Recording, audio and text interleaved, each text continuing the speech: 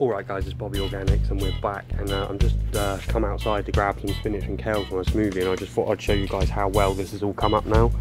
This is the uh, Siberian kale here. This stuff's real cool. I think it's quite resistant to the bugs as well, so anyone that loves kale, maybe try this one out. Uh, I think I got these from Premier Seeds, they're all organic.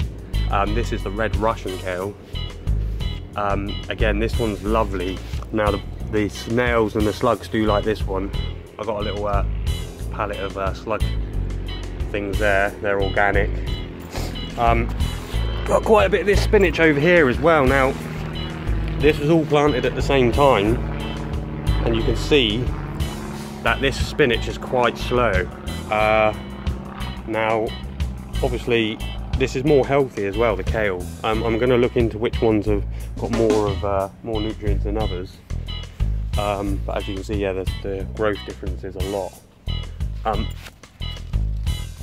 so yeah, I won't be growing that one again. Um, and this one was planted a few days after that one, so this is a bit smaller. But again, this stuff's real tasty, man. I really like the taste of this uh, kale. And again, that's the Siberian. Um, and again, you can leave them to get quite bushy. As you can see, one plant goes quite big. So is good because I can harvest this and then leave a couple of plants and um, they'll get massive. Again, I'm going to do the same with those. Over here, I've got some blue curly kale. So that's another variety. Um, that'll be nice to see. Again, they're all coming up now. Uh, planted a load of lettuce in there the other day as well. So that's that, guys. Anyways, don't forget to like and subscribe. Peace.